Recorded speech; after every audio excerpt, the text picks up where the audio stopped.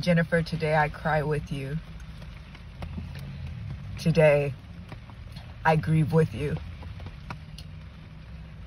With promises undelivered, with all of the disappointment you've experienced, you still love me. Even though your faith fails you in this moment to move, you still profess your love for me. You still honor your commitment to not run from me. Jennifer, you love me as I love you. It's unconditional. It is separate from activity. It just simply is.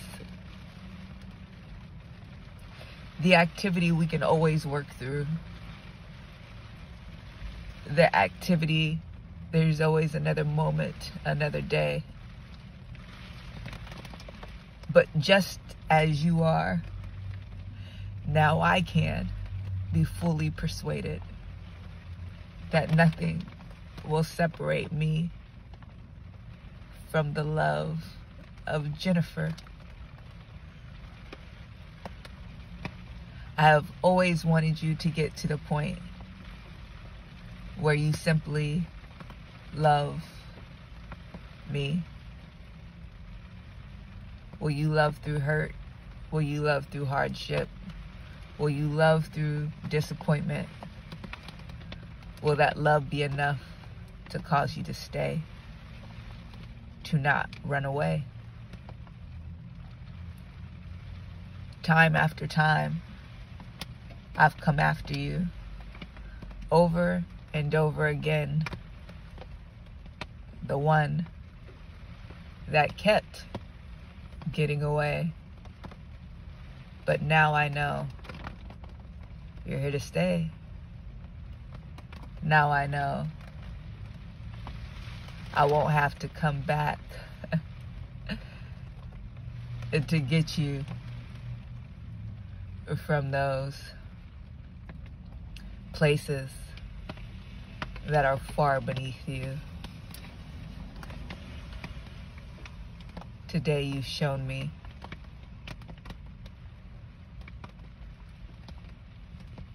the extent of your love.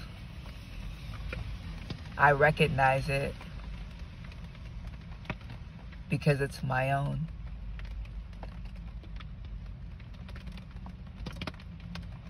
It's one that understands man's fallibility, that man is not perfect, that man is limited, that man can only go so far. But it is the love that carries them the rest of the way. Jennifer, I am love. And as long as you embrace it, I will carry you wherever you need to go.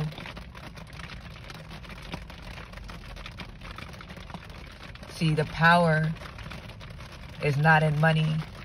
The power is not in things. The power is not in gifts. The power is not in ministries. The power is not in people. The power is not in relationships. The power is not in great speeches. The power is not in activity.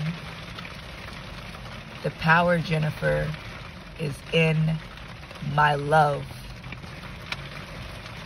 I never did anything separate from love. I never healed separate from love. I never taught separate from love.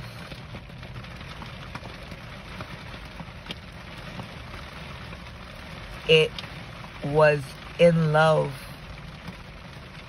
that the power resided for me to perform miracles.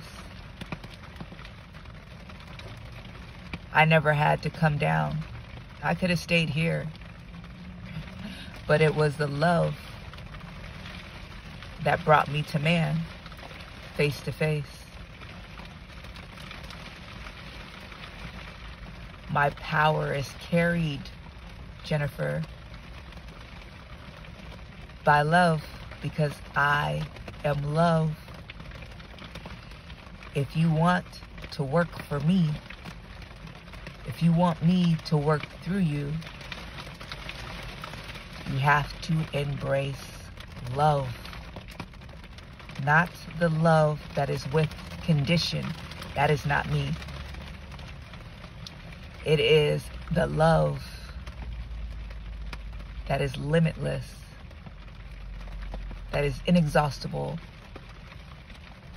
that is eternal.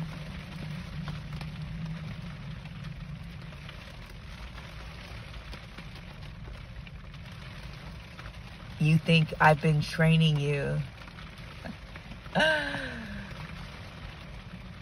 to, I don't know, be Wonder Woman, Jennifer? but I've been training you to display my wonders, Jennifer. What are my wonders? They are limitless and exhaustible because my love is that way. Do you see? Do you see? I have been training you to love without limits.